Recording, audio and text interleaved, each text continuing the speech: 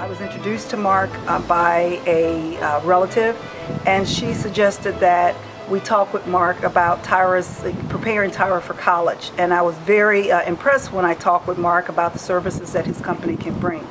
Um, he has been very helpful in helping explain the whole college process for us. When my husband and I applied uh, to college years ago, uh, it wasn't so complicated. But now uh, I think students have so much pressure on them and there's so much, so many things for them to know that it's a very different time and having someone with his expertise has really helped us get through this process.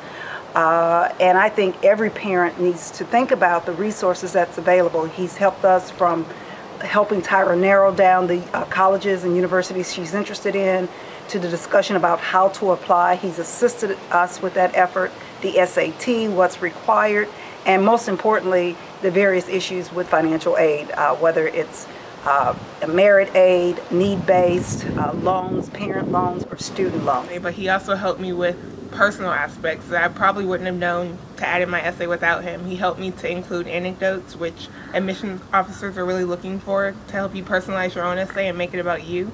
And I'm really thankful for being able to work with him.